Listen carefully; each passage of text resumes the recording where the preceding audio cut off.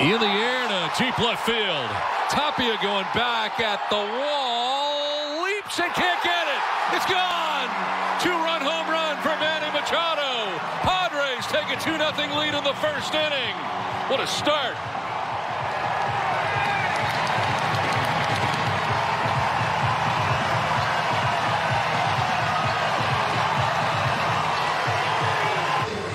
The hanging breaky ball. Cuidado. You hangy. Oh, he will bangy. And a great effort. Not enough for Tapia. How close.